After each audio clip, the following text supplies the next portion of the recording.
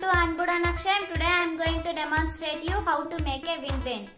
For making wind vane, we need cardboard sheet, pencil, straw, scale, pin and a piece of paper.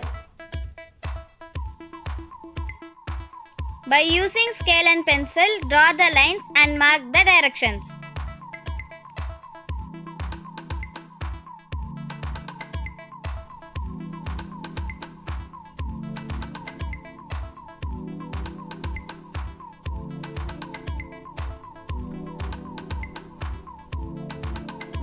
Hole in middle and insert the pencil.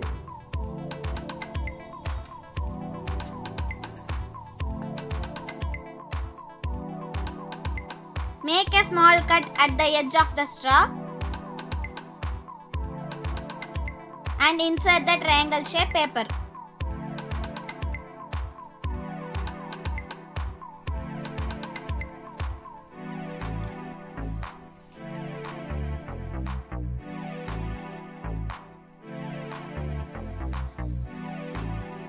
Now our wind vane is ready. Now I am going to check it.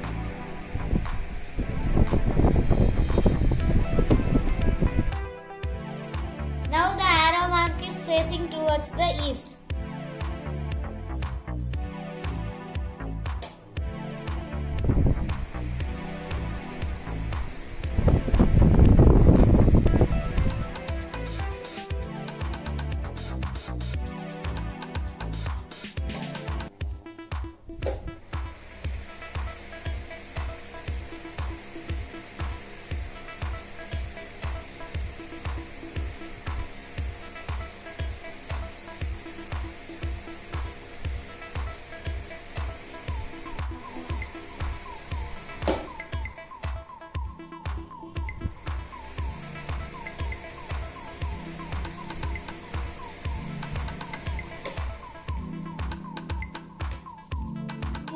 An instrument which is used to find the direction of the wind. Like this video, like, share, comment and subscribe for future updates. Thank you.